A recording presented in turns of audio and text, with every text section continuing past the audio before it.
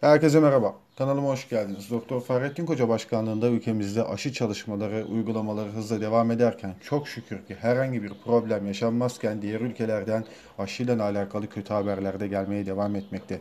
Dünya Sağlık Örgütü'nün yaptığı en son açıklamada AstraZeneca ile alakalı yaptığı açıklamada aşının faydaları zararlarından fazladır. Bundan dolayı elimizdeki aşıları kullanalım çöp olmasın diye açıklama gerçekleştirmişti. Konuyla alakalı birçok ülkeden açıklamalar geldi. Kan pıhtılaşması gibi olası yan etkiler sebebiyle İrlanda, Norveç, Danimarka, İzlanda, Romanya, İtalya, Bulgaristan, Hollanda, Endonezya, Letonya, İspanya, İsveç ve Bosna Hersek aşıların biz tamamen kullanımını durdurduk. Bu saatten sonra AstraZeneca aşısını kullanmak istemiyoruz diyerekten açıklamasını gerçekleştirdi. Bu devletlerin bakanlıkları, Sağlık Bakanlığı yaptığı açıklamalarla alakalı.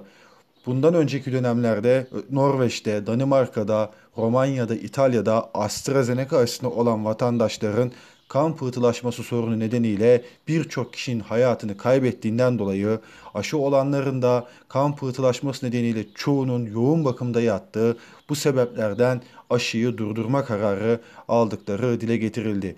Dün Alman Sağlık Bakanlığı tarafından yapılan açıklamada da 60 yaşın üstünde olanlara yapılabiliyordu sadece AstraZeneca aşısı. 60 yaşındaki Alman vatandaşlarında aşılamaya gittiklerinde bu kan pıhtılaşması haberleri ve çıkan yoğun bakım sorunları nedeniyle AstraZeneca aşısını olmak istemedikleri bundan dolayı da Almanya'nın da Alman Sağlık Bakanlığı'nın da yakında AstraZeneca aşısını durdurma kararı alabileceği ifade ediliyor yapılan açıklamalarda.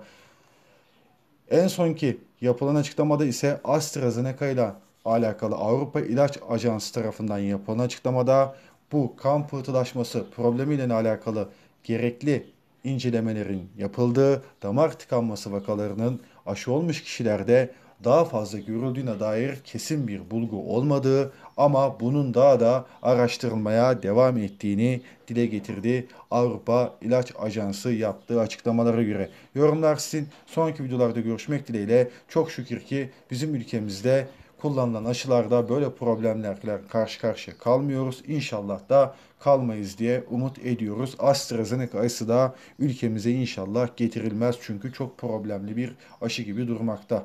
Yorumlar sizin. Sonraki videolarda görüşmek dileğiyle. Şimdilik hoşçakalın. Allah'a emanet olun.